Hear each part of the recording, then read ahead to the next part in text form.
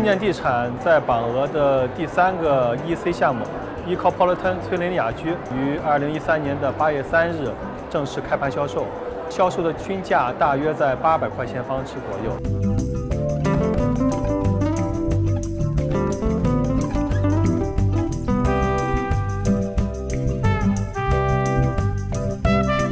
The main reason for the strong sales mainly comes from the location. Punggol has a story to sell. It has a future, the master plan. That's why a lot of youngsters, a lot of young couples being the first timers, they would like to choose here. Deciding factor is that it's near the MRT station, it's near a primary school, which is good for her. and uh, it's near our working place as well.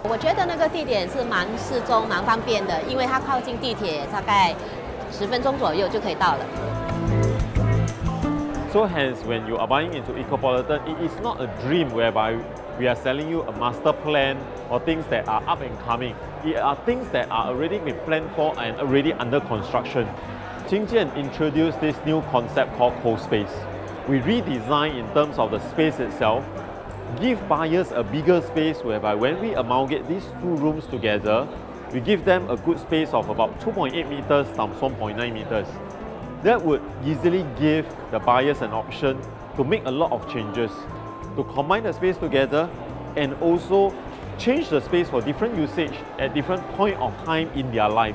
The good thing about the co-space is uh, it gives us some uh, room to uh, have some flexibility of what we want to do. First, we can probably do it as a study for now, uh, home office, and as uh, time goes by, probably we can have it as a family room for the kids to watch TV or for them just to play around and we can always be able to watch over them instead of having them in a particular room where it's all blocked off. Currently, we are more looking towards maybe a three-bedroom co-space because uh, we do like the concept of having a bigger space and also a chance to play with the utility room to develop it into something different.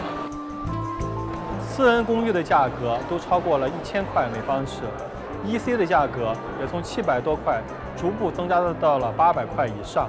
相对来说 ，EC 的价格与私人公寓之间的涨幅还是相差比较大，那么之间的差距也超过了百分之三十以上。